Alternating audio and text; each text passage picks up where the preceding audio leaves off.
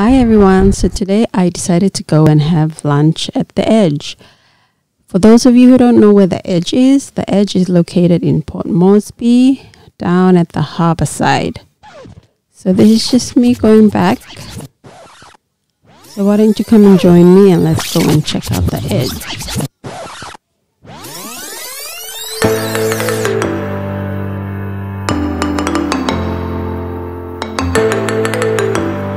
Refer Google Map for the exact location.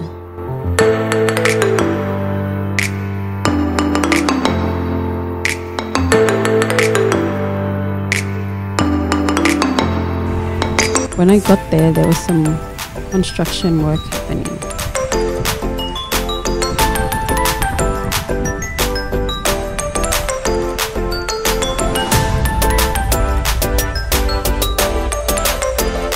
Anyway, back to the food. This is what the lunch menu looks like. I decided to get a prawn roll and fish and chips. And for drinks, I decided to get a lemon lime bitter and a cappuccino.